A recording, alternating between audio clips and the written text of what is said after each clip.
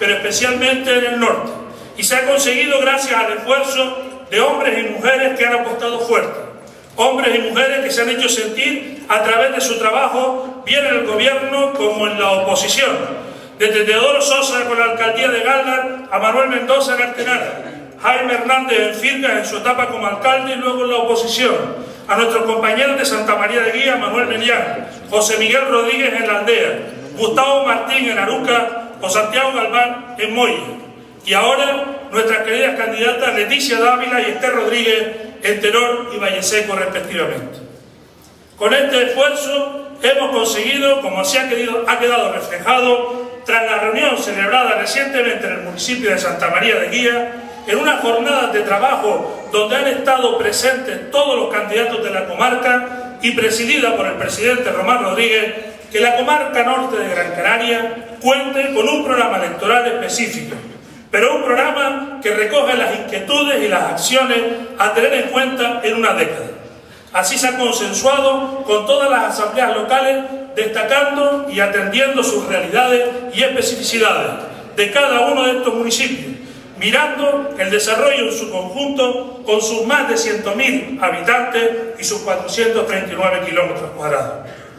Hemos aunado criterios y hemos priorizado infraestructuras y proyectos que van desde la mejora de las comunicaciones a las telecomunicaciones, proyectos de eficiencia energética e implantación de energías renovables, la mejora de la gestión y la logística del muelle de Agaete, la recuperación del sector primario, el desarrollo turístico con un modelo diferenciado o la recuperación del paisaje agrícola de la comarca norte, entre otros. Todo, pues con seguridad, tenemos que tener en cuenta que ello evidentemente con el compromiso adquirido de quien con toda seguridad será el próximo presidente del Cabildo de la Canaria y de quienes, y tras los resultados del 22 de mayo, estarán presentes en el Parlamento de Canarias. Y termino pues ya dándole la palabra a cada uno de los candidatos que nos acompañan hoy, que se dirigirán a todos ustedes. En primer lugar, el compañero de Gaete, Carlos Álamo Suárez.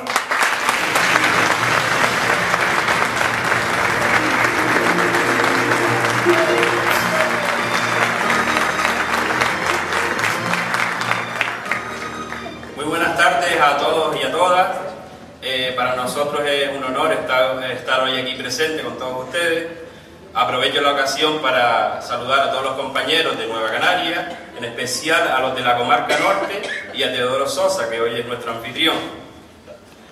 Cuando nos embarcamos en este proyecto, sabíamos que en Agaete íbamos a tener una respuesta considerable, un apoyo considerable.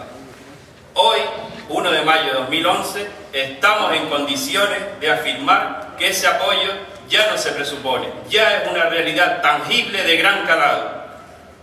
Somos conscientes de que son nuestros vecinos los que están propiciando un cambio en Agaete, un cambio que se hace necesario, un nuevo rumbo, un nuevo rumbo que ha de dar el mejor destino posible tanto a la juventud como a nuestros mayores, como a toda la ciudadanía general del pueblo de Agaete.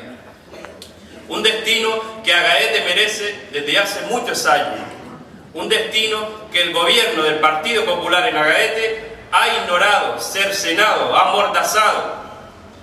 Agaete, dentro de la comarca norte, ha de ocupar un lugar destacado.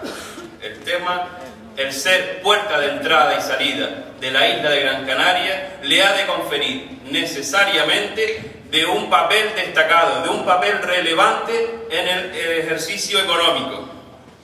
Sin embargo, el Partido Popular, desoyendo las peticiones de los vecinos, jamás ha prestado especial atención a este tema, sino que más bien pues se ha hecho loco, lo ha ignorado y ha eh, ignorado totalmente este tema. Somos hoy en día en Agaete la única alternativa coherente, válida y razonable en un mar políticamente embravecido, donde se ha creado un bipartidismo feroz que ha generado una tensión política que el pueblo de Agaete detesta profundamente. Alpa y quien les habla estamos empeñados cambiar eh, el gobierno municipal. Somos la única alternativa válida y ofrecemos un cambio y un nuevo rumbo que estamos seguros que van a significar el triunfo de la cordura y la razón en la Villa de Agaete. Muchas gracias a todas y a todos.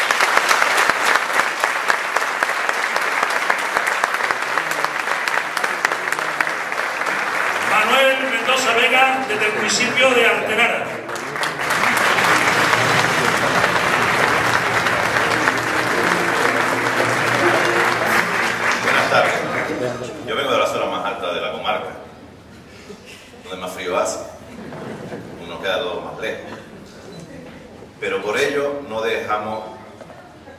Estar en el lugar que nos corresponde. Gracias a Nueva Canaria, que ha gobernado las instituciones como el Cabildo y que es solidaria con los municipios pequeños, alejados y con poca población. Este viernes fuimos noticia en la provincia. Estábamos por primera vez en una lista por inversiones que había hecho el Cabildo. Nos correspondía 1.040 euros aproximadamente por habitante. Desde la Consejería de Cooperación Institucional en el Cabildo, con el plan de obras, el Ayuntamiento de Artenara es el más que ha recibido en estos cuatro años. Y eso le parecía más al PP y a Coalición Canaria. Coalición Canaria dice que era sectario del reparto. Y es un poco para reírse, ¿no? Sectarios ellos que están aficiando a esta isla, llevándose todas las inversiones para allá.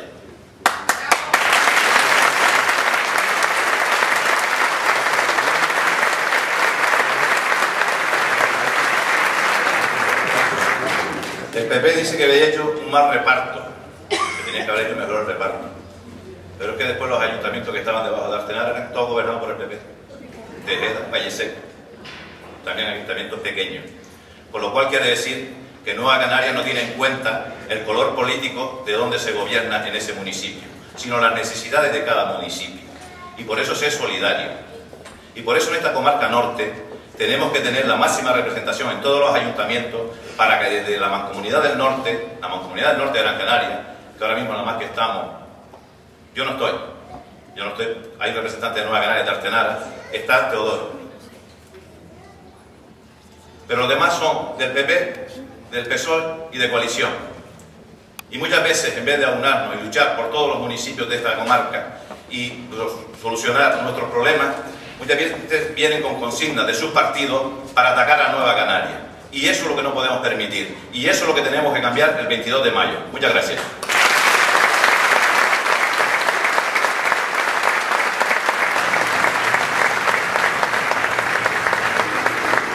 Bueno, ya se ha incorporado con nosotros don Santiago municipio de Mayo. Bienvenido. Bueno, eh, invitamos a esas personas que están por ahí que queden asientos libres si quieren ocuparlos. Y ahora, desde el municipio de Lucas, Gustavo Martín Cerro.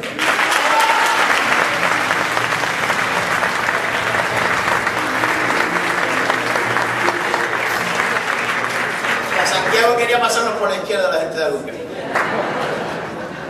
Todavía no, Santiago. En primer lugar, darle la bienvenida, agradecerles que estén aquí hoy. Desearle a las madres que están aquí presentes, a mi madre, a mi mujer, que pasen un buen día hoy, a todos los que están aquí en este escenario. Y Arucas tiene mucho que decir en el proyecto de Nueva Canaria, y más en el norte de esta isla.